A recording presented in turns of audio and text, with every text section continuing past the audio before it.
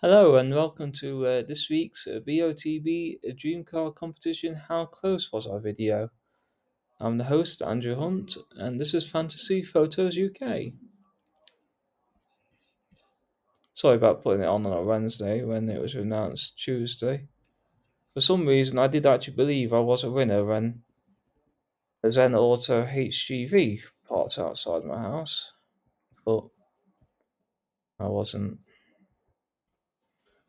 The winning coordinates were 1592 by 1254. I was 2 by 34 pixels out. Which unfortunately is not close enough.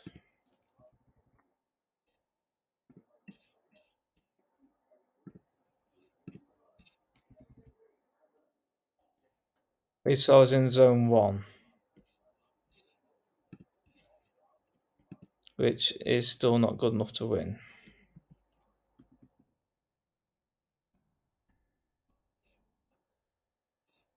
Which really annoys me every day. Because that was actually the car that uh, I had my closest ticket on. But why didn't he uh, also uh, play for the twenty to fifty thousand pounds?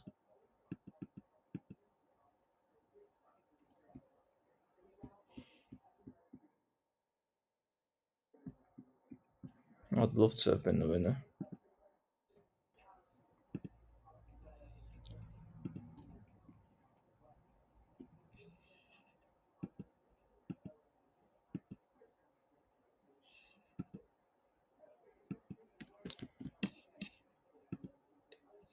It is still the uh, Daily Delights so 25% off certain prices this week.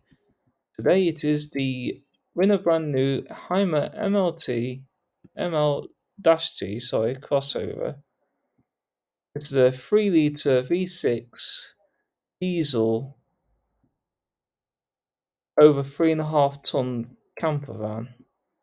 You can go anywhere off road, you can go anywhere in it because of its four wheel drive and raised bodywork. And when you get there, the standard solar panels and extended battery mean you can live off the grid for 10 days, so no need to worry about going to a campsite, so you can save some money. Enjoy the view as well.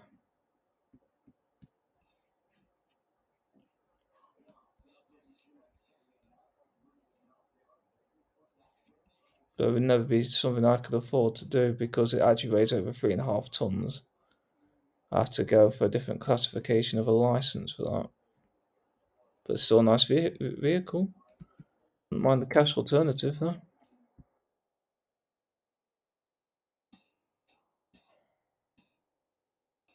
But by the look of it, I'll never get anywhere close enough to win it.